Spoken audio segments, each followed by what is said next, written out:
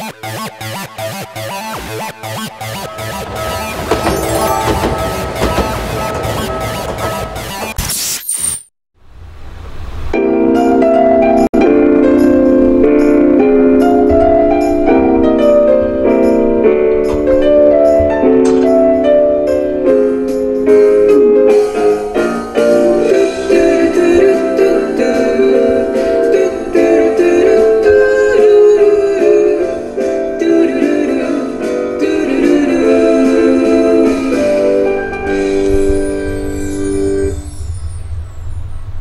そマーカのおしゃべりサロンへ、えーこんばんはプロデューサーの小寺と申します、えー、今宵は、えー私一人スタジオは私一人でございますそれでは早速リモートの皆さんをお呼びしましょうこんばんはこんばんは。こんばんは。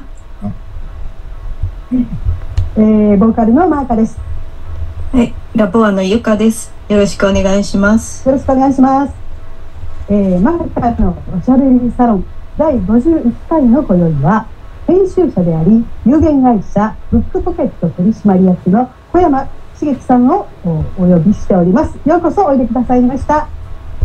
こんにちは。よろしくお願いします。よろしくお願いします。す。えー、小山茂樹さんは1960年兵庫県高砂市のお生まれで早稲田大学教育学部をご卒業されました現在有限会社ブックポケット取締役であり、えー公益財団法人千里文化財団主幹でもいらっしゃいますまた国立民族学博物館友の会に帰還し機関民族学の副編集長を務めておられます。えー2004年に編集プロダクションとしての活動を開始されてからは、梅沢忠夫、今和次郎、夏目漱石、小田作之助、尾崎豊斎、妖怪や博物館などをテーマにした書籍を制作されておられます。ということでですね、早速ですが、小山さん、制作された本をいくつか見せていただいていいですか？はい。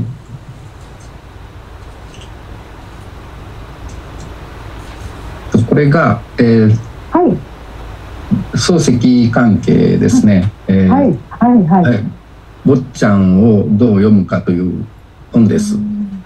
はい。はい。えーとですねそして、でも心をどう読むか。どう読むか。はい。はい。ええ最近のうん。本ははいこ。れです。一番新しい本がこれです。はい。いつ出ました？これは。これが、えー、5月ですね。今年の。あ、はい。今年の5月に出た一番新しい本。日本の、あ、もうちょっと見せてて。日本の妖怪百妖怪百科。おう なんかすごく面白そうなんです。面白そうですね。右上に槍、槍みたいなの持ってるのは何なんですか？これよくわかりません。これね、あ のね、あの百鬼夜行絵巻という、えーえーのが中世にあって、でそれがどんどんきあの江戸時代にいろんなバージョンが出てきたんです。えーこのこれはあの東京大学の図書館に今ある絵巻なんですけど、うん。えー大体あの物が古くなってそれが妖怪になるというのが、うん、物とか道具とかですね。あはあはあ。これ鍋とかねあ。うんこれはあの食材ですよね。うんあのー、あの、明かりを灯す。はいはい。そうそうそう。えー。うんあそれが何？あの、なんていうの、感情を持って妖怪になるみたいな。そういう発想のうん、あの捨てられたりしたら仕返しに来るんですよ。怖い。道具であ捨てられないですねった。としても。えあら、面白そう。ええそれが最近出た、はい。えーやつですね。日本の妖怪もうあの日本の妖怪をほぼ網羅したようなあの百科事典のようなあああら。ええー出てるの出版社が。ーこれ川出書房新社です。あ、そうですか。じゃあもう手に入る。もうすぐ、最近のだから新型からはい。すぐにもうア。マゾンでも。面白そう。えええええそれとかですね。うんええええーっと、そうですね。で、一方で、その、さっきの機関民族学という。雑誌を作ってまして、えええ例えばこれとかね、えはい。民芸の特集をやったり、はい。民芸、民芸って何ですか？民芸。民芸っていうのは、あの、うん柳宗悦という人が100年ぐらい前に、えー日常の道具とかに新しい美を見つけて、うんうん。まあ、民芸ってのは美の概念と言ったらいい新しい美美の概念と言ったらいいんだと思うんですけど最近その民芸ショップとかね、うんうんうん、あると思うんですけど、うんまあ、あの焼きこれ焼き物だとか。うん。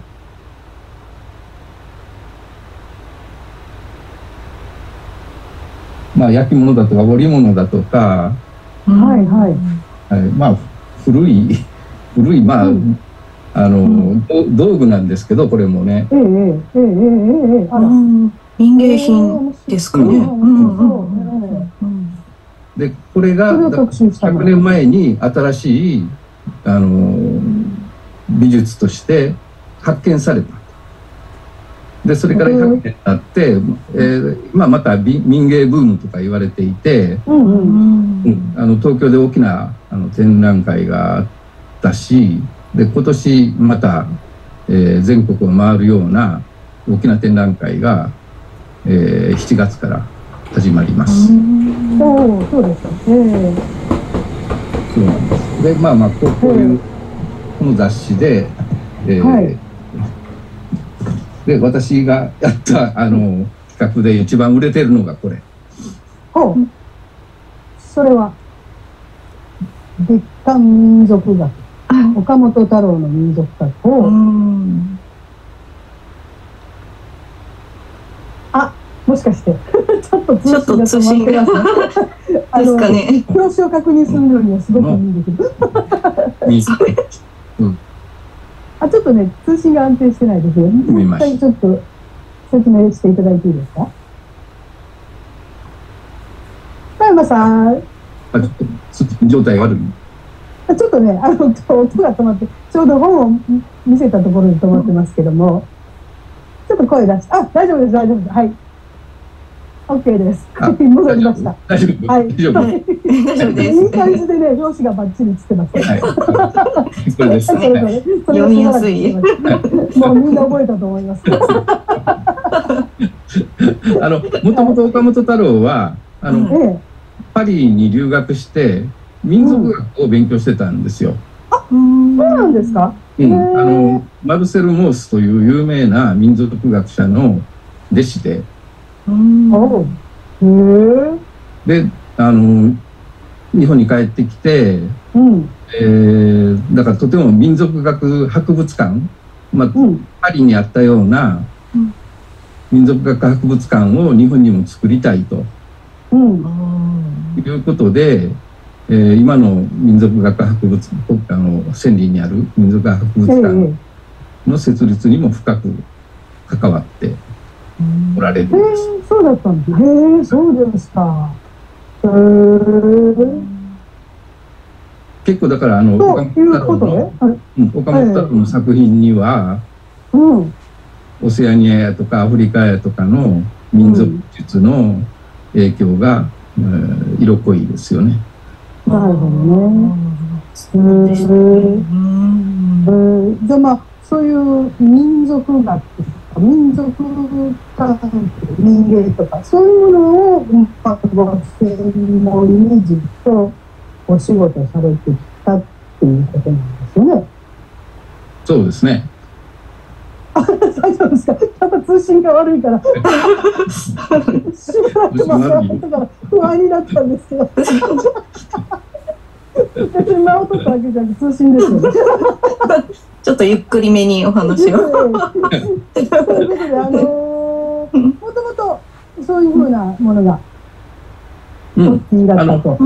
はいはい。えっと、大学で民族学のサークルに入って、で、えー卒論も、あの、日本の長野県の、うん。あの、村の、えー、神楽と呼ばれる芸能をテーマに選んで卒論を書いたりしてました。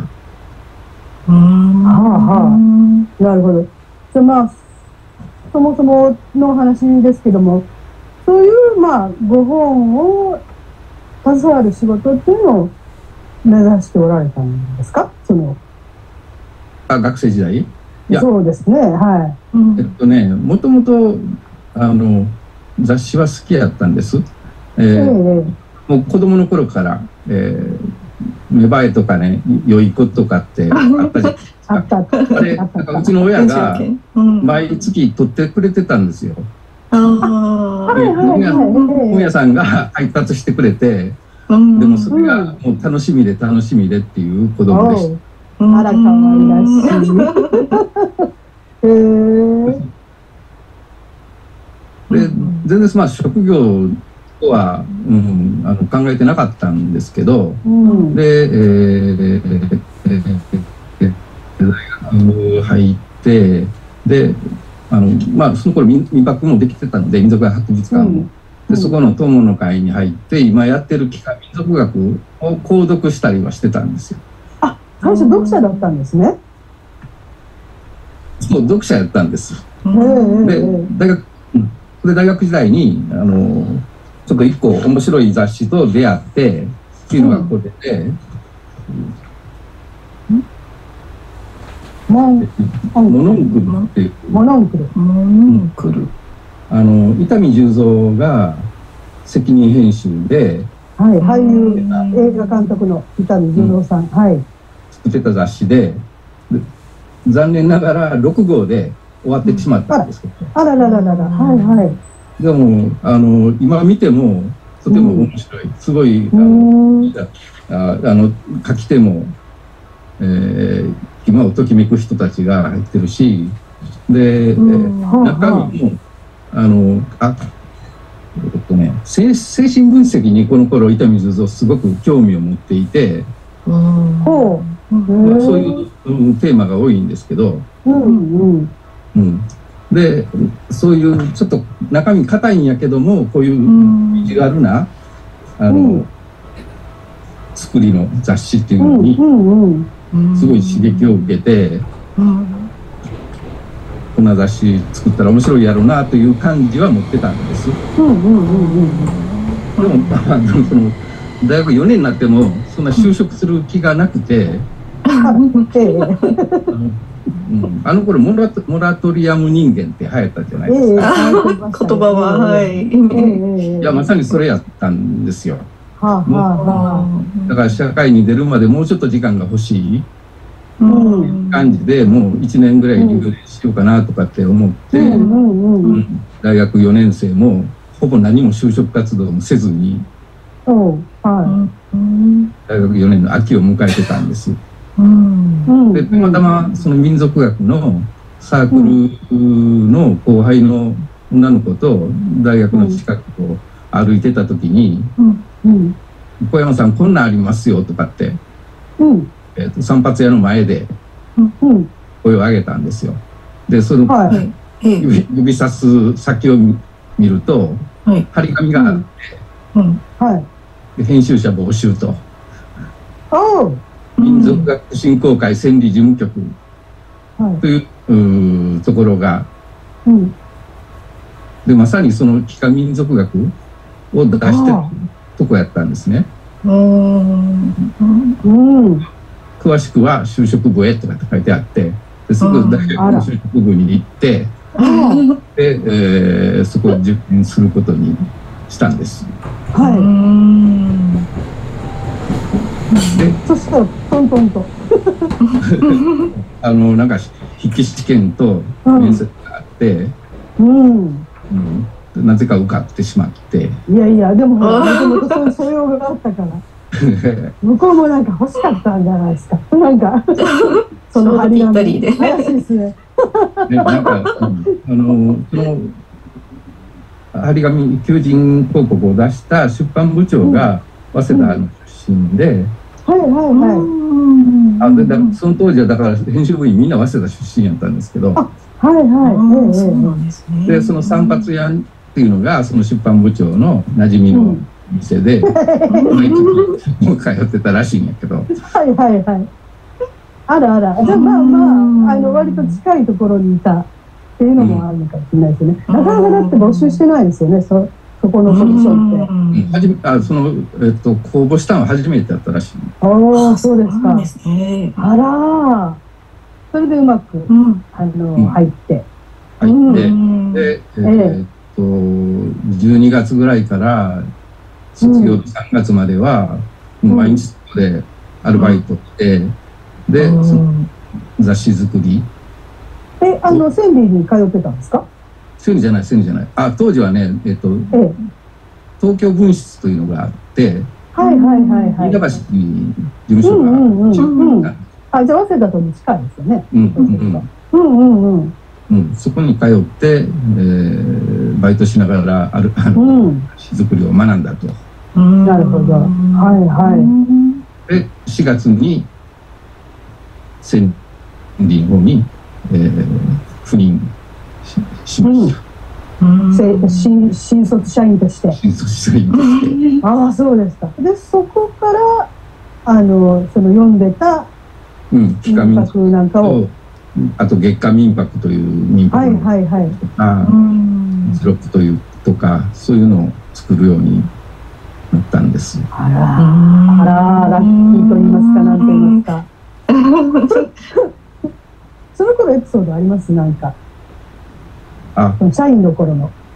えっとね、だから、うんあえっと、その民泊の初代館長の梅沢忠夫っていう人と一緒に仕事できたっていうのは、あすごい今思えば財う産ん。ですね。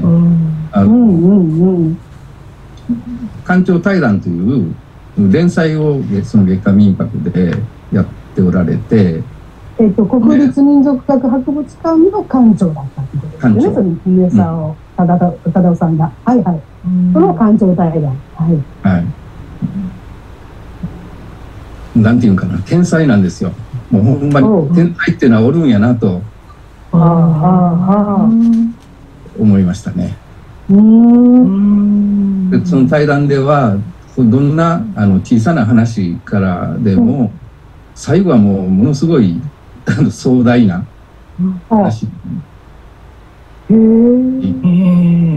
文明史だとか人類史だとかうんそこまうんなんかきっかけは本当にもう身近なところからまでうん。話が持っていけるというのはもうものすごいなと毎回感心しながらもう一回大学に入り直したような感じでそうですよね。ええええええあら、なんて、あの、幸運なことだというんですか？うんうえーっとねん。10年間それがやらせてもらいました。うん。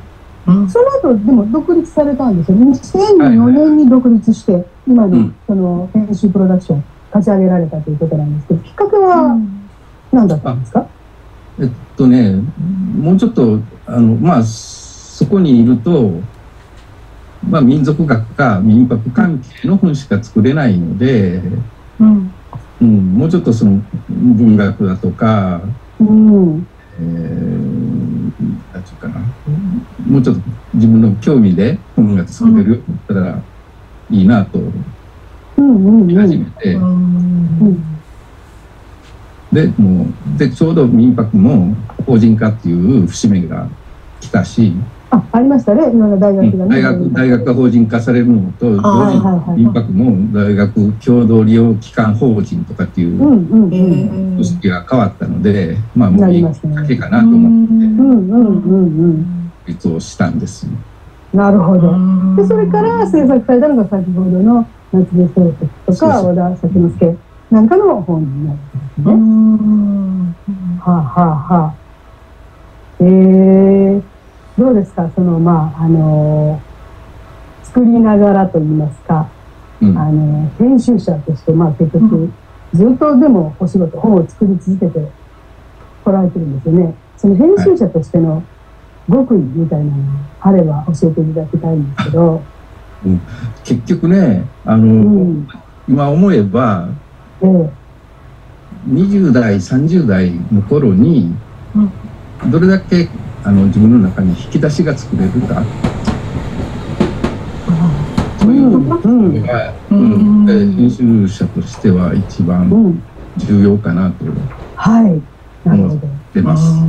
ええええええな何でもいいんですけどね、本でもいいし、うんあの映画でもいいし、展覧会でもいいし、20代、30代の頃に興味いろんな方面に興味を持ってうん。やってたら、う。うんん今になってね、それがあのつながってくる。はい。いろいろ。うん。このね、その焼き畑と文明とかっていう特集を組んで、で、一泊で、あの、展展示をやったんです。こんな焼き畑神とかっていう。うんうん。うん。これなんかまさに僕大学の時に、うん。そのサークルでちょっと勉強して発表したりしたテーマやったので、はい。うん、あの、40年後にまた同じことやってるんだと思いながら、いやいやいやいや、へえ。そうですか。じゃあ、その何？その我が生涯悔いなしみたいな感じですね。今楽しい。ねえ、だって、やってることが楽しくって、それがその自分のね、お仕事って、うん一番理想じゃないですか。うんうん。うん。うんうん転職。飲食そうですか。ありがとうございます。えー今夜は編集者の小山茂樹さんをお迎えして、すべては散髪屋の張り紙から始まったをテーマに お話を伺いました。小山さん、ありがとうございました。ありがとうございました。えーそれではあー最後に今宵の一曲をお届けいたしましょう。えー、ゆかちゃん、お準備は大丈夫でしょうか？はい。はい。